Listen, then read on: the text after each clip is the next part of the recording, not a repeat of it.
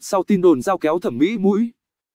Chiếc mũi thẳng bất thường của cư dân mạng Trung Quốc nhòm ngó sau khi loạt ảnh chụp cô tại Tây Tạng được chia sẻ trên mạng xã hội, phần lớn ý kiến đều cho rằng mũi của người đẹp thẳng hơn và phần lỗ mũi cũng có cấu tạo khác hơn trước khi so sánh với loạt ảnh cũ. Trước kia, sống mũi của Phạm Băng Băng hơi gồ nhưng giờ thì mũi của cô dường như lại thẳng hơn rất nhiều. Ngay lập tức tin đồn Phạm Băng Băng chỉnh sửa mũi để thay đổi vận khí được đưa ra. Phạm Băng Băng đã có một năm rất khăn khi bị phát hiện trốn thuế và bị phạt 130 triệu USD sau một năm ở ẩn. Người đẹp dục dịch quay trở lại làng giải trí nhưng không được hoan nghênh. Mới đây, khi tham gia chuyến từ thiện tại Tây Tạng, cô phải thở oxy vì mệt mỏi và ốm nhưng khi những hình ảnh tiều tụy của Phạm Băng Băng được đăng tải thì lại bị khán giả cho rằng làm màu và muốn nhận được sự thương hại của mọi người. Suốt một năm qua, Phạm Băng Băng không xuất hiện trong bất kỳ sự kiện nào. Người đẹp cũng mất khá nhiều hợp đồng quảng cáo vì tai tiếng trốn thuế.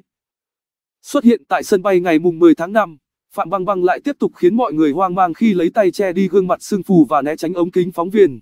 Dù đã đeo kính và đội mũ che gần hết gương mặt nhưng người đẹp vẫn bị phóng viên và khán giả nhận ra. Hành động lạ lùng của Phạm Băng Băng lại càng khiến cư dân mạng thêm hoài nghi về thông tin phẫu thuật thẩm mỹ gây xôn xao dư luận thời gian gần đây. Nhiều ý kiến cho rằng vì không muốn bị soi về khuôn mặt nên Phạm Băng Băng mới không muốn bị chụp ảnh trong lúc này. Song, cũng có khán giả lên tiếng bênh vực nữ hoàng thị phi cho rằng cô mới ốm dậy nên mặt có thể sưng hơn bình thường. Hiện tại, phía Phạm Băng Băng chưa lên tiếng trước nghi án phẫu thuật thẩm mỹ. Phạm Băng Băng từng bị tố giao kéo thẩm mỹ trong quá khứ nhưng người đẹp liên tục khẳng định vẻ ngoài của mình là hoàn toàn tự nhiên. Thậm chí, cô từng tới bệnh viện nhờ bác sĩ kiểm tra để khẳng định, gương mặt của cô chưa bao giờ trải qua bất kỳ ca chỉnh sửa nào. Mi VNTHEO quy quy